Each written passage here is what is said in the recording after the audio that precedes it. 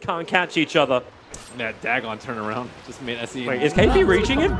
He triggered Song with the Siren. He was getting regeneration from the Octarine. He realized he was in range of Sumail putting the Blink Dagger on cooldown, so they wait for SC. Too early on the Burrow Strike. The Light Strike Array as well. Sumail, where's your freedom? You'll step the rub. They both spin it round, round, round, and then the escape. Sumail keeps running and goes for the TP. Burrow Strike from Kaka. Hero to gank Lina. in lane. It's a hero that becomes difficult to kill early on and keep Naga Prepare Siren for on KP. We haven't seen this in a very, very long time. It's it really is classic, and with that early PMS, you've actually got it on both Moogie as well as KP. There's like one good team fight. You can either sleep and then focus down the egg, or you can just use Lina's high attack The speed and long range. begins. Same high attack speed. They're gonna try and battle over this rune. KP's gonna take decent damage for it as uh, he does find the bounty rune. Newbee will claim three out of the four, and Ichi very wisely not fighting this one. Kaka wants to. He wants Zai just a little bit further, a little bit further forward, and there it is. With a Thunder Strike, they may have enough damage thanks to the Strike on the run. Zai's in trouble. Quick power shot lets the damage go, and Kaka will spill first blood. The question is, does he get out scot-free? KP back again with the Riptide. He goes for another Burrow Strike. Kaka, the last attack from Crit will find the kill, but they want Arteezy. Cut through the tree lines, continue the run. KP, where's that Riptide? The damage not enough. 18 HP. The regeneration from the Tango is barely enough to Drow aura to upset the balance. Oh, Universe. Is that slow going to be enough with the Burrow Strike? They just drop it. The tier 1 tower is not safety. And with the aggro switch, Kaka. No, no, no, no, no, no. The trees. They're going to kill him. Kaka has to run 21 HP. The tower will hit him. And Kaka will fall. It's a consolation. Easy does switch the aggro out. So KP gets forced out of the top lane. Meanwhile, in towards the mid, what do you want first? Courier, Faith will take care of that one, then look for the kill. If you can find it, Sumail's taking the tower, and SC, has he got himself one more hit? That's all it will take. The slave Samel dodges with a phase shift. Now support comes in. Boogie gives him a bear. Okay, maybe not fully. He just missed the sprites, and Kaka doesn't really want too much of this. He's got the triangle boost and turns around, looking towards Zai. Observers and sentries are down. They actually get rid of the one, and Kaka with that Burrow strike up finds the kill. Universe wants to help out, but Kaka hiding himself inside the sandstorm. Faith can't move anywhere, locked in by Baron. Maybe now SC hits the Sun onto the Wind Ranger. Not a lot of support to be given, so SC just has to run away. Having the haste room means he can run pretty damn fast. Kaka's even able to regenerate, but now locked inside the Sprout, cuts its way back out again, gets a nice bu- Burrow strike. The Savage Roar pushing NC away, but KP will arrive. Kaka will fall, so Universe has the double kill, but a double stun onto Arteezy, as well as Universe makes chasing NC very, very difficult. Wants to give more damage, but Sumail will come in just to watch the kill happen. The neutrals are trying to kill off Universe as he's TPing away to safety. Well, just as level 5, Sumail's already level 6, despite having the early death. Sunray's turned on, Faith's getting a bit of a tan, trying to glimpse away the Phoenix, it doesn't give him enough space. And the Savage Roar, no, no! Arteezy on 20 HP. Can back away from Kaka. Yeah, looks like trines are up if they want to use that belt. Time to hit that hot pot. Well, Dream Coil, SC getting caught out. Zai looking for a good Shackle lineup. Maybe not going to be possible. Hits the power shot instead. And in comes Moogie. The Shackle, it doesn't properly latch, but still the last hit in. Zai giving its life for the cause. Not going to be able to make huge plays on Bottom lane lane. Light Strike Array gonna miss. Sumail able to phase shift it out, but then again, the damage may be too much to repair. He's got a lot of life left. A quick orb, there's your phase shift, but the slave from SC is able to connect, and Sumail will fall. perfectly timed. He's going for Roshan.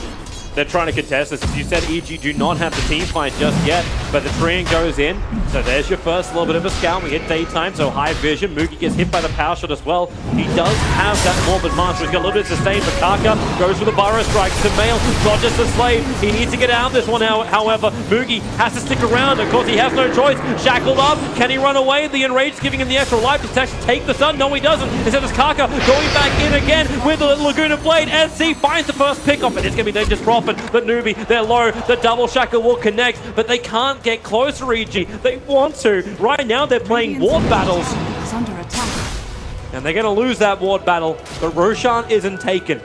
If possible, more importantly, if they want to take the T1 tower. Allows them to control so much more of this map. But Arteezy, he's the bonus, and it will be. The wall is up. Run in. The glimpse can not pulling back into the wall, but into the waiting arms of Moogie. No more movement speed. Does he have a roar? The storm, the damage isn't enough. Enraged up Moogie. One horse swipe can't reach him. Can't get close enough. And now Moogie's in too deep. He'll die. The Aegis Immortal, however, does give him the second life. Universe wants to control him. The Sprout trying to keep everyone else away. The Shackle will connect and in comes Sumail. High movement Sumail gets silence. They couldn't song of the siren. KP's lost. Moogie's lost. SC will join them in the afterlife in just a second. But how many can he bring with him? Bury him with all of his worldly goods. Sumail will put him down. Can't move out to lanes, wants to keep himself hidden because if he shows himself, EG understand that Aren't committed to Roshan. Of course, this is another way to do it. Have Sumail sit in an Invis rune right on top of Newbee and isolate the two supports. KP's coming as well for the Burrow Strike. It's already started off. Wind Ranger, Zai will fall, but the Dream Coil catching two into the egg. They're going to burn! Crit is able to do it inside the Nova tick damage, and they find another one. Sand King a little bit further to the north. Burrow strikes out outside the Sandstorm, but the Sentry Wall is still out. A small little bit of revenge. It's Kaka and Universe the ones to fall. But they have their own aggressive Observer Ward. That aggressive Observer Ward, it actually sees Universe farming. Okay, maybe not exactly the position of Universe, not up that hill. But him farming, so Sumail are trying to punish this aggressive maneuver from Newbee. They've caught SC out of position. The Storm, however, is stopping Phoenix from getting the egg off. And the epicenter, Kaka jumps in. The Phoenix will fall. SC is still just solo battling on the back lines. He wants to live, but Sumail finally will get the rift off and bring down the Lina. Quick sprout, Moogie trapped in there. That one little space open for the bear, and only the bear power shot connects and Song of the Siren. Aegis Immortal will trigger, but Disruptor, what do you even do? You don't have an ultimate to help out. They have to trigger off the shrine and hope EG try and fight them as they're actually regenerating up. Burrow strike in, Lone Druid's in too far. Zai can't do anything, he's trapped inside the wall as well. Sumail's trying to help out. The power, actually the power shot's done enough damage. Lina has the one charges, will end up surviving. Sumail, the light strike array, he dodges it with a patient, jumping down. They need another Burrow strike, he'll come in, but it's too late. SC's already fallen. Universe will join the line of the dead. Moogie wants another kill. Four seconds till blink is four seconds too long as Sumail. Stalling tactics work. Oh, Kaka press the epicenter. Oh, wait, hang on. That doesn't look right. It was a little too early. It still will be enough damage as the Style 4 staff will kill off the Nature's Prophet. Yep, second cancel out of the center. That one, player error. Sumail gets a Dream Coil over in SC and they're going to couple it all together. The Storm can be thrown down, but it just revealed his position. Disrupted the TP out. There's no stun. Hill, there was no vision. So they have to wrap around the back. Aegis Immortal just timed out. And Sumail into the tree line, starts his own TP. Do they get any level of vision? SC hits the Light Strike Array on the crit. Icarus Dive still available. A quick Eul's Scepter up, mistiming it. Carter went for the Burrow Strike, so Faith must commit to the Storm in order to bring down Crit, who is dead for 50 seconds with no buyback. But they're doing bad things, pushing in the top lane, and they're forced to retreat. Burrow Strike and do as much damage as you can. Keep that bear in position. SC arriving. A quick ensnare. And this bear does not stand a chance. He will go down. Even more and more critical things like Arteezy, the fact he does lose this, resummons, just go full defense as well. KP's getting off the rest of the map. Burrow Strike down the bottom lane, catching him in for this, but of course it's the Gem of Truth back. That's why Universe can't run 70 seconds without a buyback. Comes against Moogie to the front lines. and The target that EG do not want to have. They're looking for the back lines. Oh, they Eul's Scepter. They caught the punch. He doesn't actually have patience. Caught inside it. He'll actually bring down Sumail. 90 seconds without him. And this is the opening that Newbee wanted. Push back in again. Oh, the bear came back to life. But will it be enough? The BKB from Moogie, KP, Song of the Siren. Universe is protected by his own BKB. They'll force staff him away. They want to go for more. Crit being pushed forward, but he won't be able to reach anyone from Newbee. Faith is the closest. Starts his TP, but they won't know what the Savage Roar. You would have had to blindly do it up the hill to cancel. making it incredibly difficult for EG get oh. universe. He ran into Kaka. Oh, Kaka! He missed the Burrow Strike. The Orchid is on him. He'll move around the tree lines. A quick Eul's Scepter up. At least the spells off the damage that will come out from the Orchid. Kaka needs to keep moving out of that Sun Ray damage area. He does get free, and it's Universe under the cover of the BKB. Doesn't connect it from the physical damage, and SC already has the attack speed. They want to kill off the egg, and they've got it.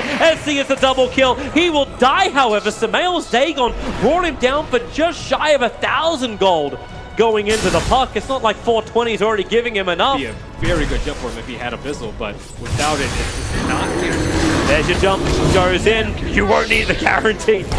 Zai just gets shredded. Kaka in a little bit too deep underneath the sentry ward. Savage Roar won't free him out. Moogie has the protection of his own BKB. Now that it wears off, maybe a little bit more cautious. Still the buyback from EG. Didn't have to be committed. Look at these yellow dots swarming the map. Oh, I don't know if that was fully intentional. They burned the fortification on its only illusions on the front line. Attacking in, the tier 3 town's a little bit low. But now SC is free to attack into that melee racks in the mid. Everyone's hovering around. Zai shot is not alive, mainly because he is not. Dire's middle barracks The are under illusions. attack. Just. Everywhere in their Oh, Burrow Strike, Oh, it connected on the Phoenix, but it's more importantly creating space for SC. He's holding onto cheese of his own. They bring down the mid rack. You are hoping Roshan is there, but they've got another 24 seconds before Roshan should be spawning up. And EG, they find their target with a Burrow Strike in and out. Kaka a quick retreat, the egg is being committed, but no one from Newbee is forced to fight. Ezzy's back under the cover of his own tower, attacking into the Lone Druid's Bear. KP wants to fight. Oh, he put the arms up. He's baiting Song of the Siren. He did it twice and then pulled out. And now it's Crit. Caught out. Laguna Blade the damage. One charge is allowing Crit just alive to survive. But on the back lines, it's all about the Ursa as well as combination with Faith. They're brought down two. They're going to get another one. And that may have been the last roll. The dice here for EG. Sumail's on the run. A quick join away, but SC's movement speed. The Slave won't reach him, but he's keeping the Fiery Soul stacks up. The day gone. SC is low. Sumail's got the speed. Speedy Gonzalez versus Sonic at the moment, and both can't catch each other. that Dagon turnaround just made SE. Wait, is KP reaching him? He triggered Song of the Siren. He was getting regeneration from the Octarine. He realized he was in range of Sumail putting the Blink Dagger on cooldown, so they wait for SC. Too early on the Burrow Strike. The Light Strike Array as well. Sumail, where's your freedom? You'll set the up. They both spin it round, round, round, and then the escape. Sumail keeps running and goes for the TP. Burrow Strike from Kaka barely misses on the side. Sumail will return home to tell of his tale. Are Trying its best to keep him in the game, but Brax under siege. EG just have no strong heroes aside from Sumail. No one can really do anything. They're locking him down. Universe wants to fight. He's looking for Moogie. Triggers off the BKB for both of them. Zion the focus fire. It may be enough when the bash from the bear is able to hit. They root up the Ursa. But then again, Lone Druid also instead controlled the burrow strike from Kaka, catching two. Lone Druid, Arteezy, he's falling, he's fallen, he's down. Sumail wants back in again. Another Eul's Scepter. They're trying to lay it with NC. Sumail has to also avoid. Everyone's just spinning it up in the clouds. More buybacks. Moogie's got himself a double kill. They have to keep the pressure on, however. Newbee, push into the base. Punish these buybacks if it's possible. They are fighting four on four. The Burrow Strike hits perfectly, catching Zion the tree lines. They don't see him yet. Now they do. Moogie has his triple kill. The Orchid, the silence is there for KP. Does he actually pop? No, Ursa will survive this. No, he doesn't. The Phoenix Egg, it burned him down. KP will TP away to safety. Meanwhile, Kaka, well, he'll go into the tree, stay where it's safe, and he doesn't get disabled in time. Sumail needed vision to get the Eul's Scepter off, but Newbee the pick. There is no Ursa at this fight, however. The final roll of the dice. What do they find? Kaka finds himself a Burrow Strike. Quick blink away. Does get silenced. Sumail wants to get the initiation off. That silence on Sand King lasts a long time, but they still haven't found the damage, EG. For all the control they want to provide, they haven't found the opportunity, and Sumail gets out of the wall in time. Faith might be in trouble. Universe trying to beat him down, but on the back lines again, it's going to be your Ursa doing the work. You've lost two already for EG, both without buyback. They turn their attention towards the bear where Savage roars them out, but it's SC, the cannon on the back line, just incapable of being touched by EG. Lone Druid can be stunned up. SC commits up a Laguna Blade, and in comes Kaka. The epicenter. It was the last couple of pulses, but the last is enough. EG will call GG and level the series up 1-1. Newbee shall do with that fight. A big mistake by EG not being able to control the Roshan pit at all. It just kept getting worse and worse for them. They got vision of the Ursa doing the Roach, but there was no way for them to stop. I think the Phoenix was a little bit too...